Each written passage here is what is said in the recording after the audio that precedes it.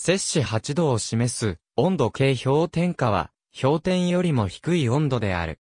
上圧での水の融点は 273.152519K、すなわち0.00に摂氏519度であり、この温度以下を零下とも呼ぶ。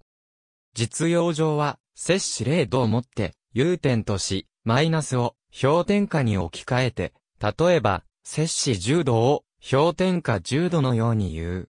可視度においては、可視32度が氷の融点となることから、可視32度から可視度の値を引いて、例えば、可視22度を氷点下10度のように言う。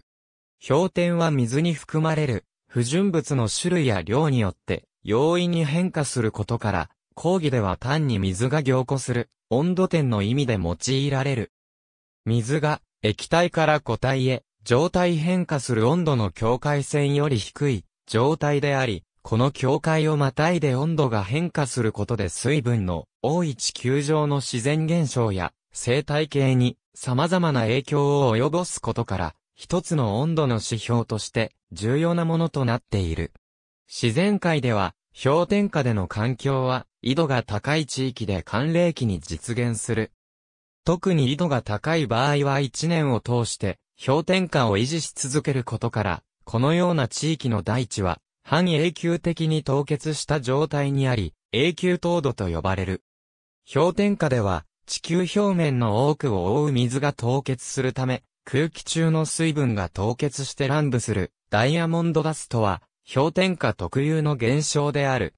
また海の表面が凍結して巨大な氷の塊である氷山が発生する現象も海水温度が氷点下になることにより見られる現象である。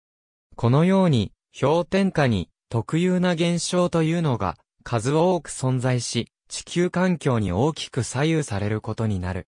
氷点下での環境は生物にとって過酷な条件であることが多く、冷酷な地域での活動に特化した生物でない場合、長時間いると体温が奪われて投資してしまう。そのため適切な寒さ対策が必要であり、寒冷な地域での生活が可能な生物は、体の表面が毛皮に覆われている。人間も、本来、氷点下での生活は不可能であるものの、寒さ対策が行われることにより生活できるようになっている。氷点下の環境で生物の活動が活発でなくなる原因としては、科学の分野から見た場合多くが説明できる。氷点下では、水が凍結するため、生物の体の大部分を構成する物質である水が凍ってしまうと、生物の循環器が停止してしまうためである。ありがとうございます。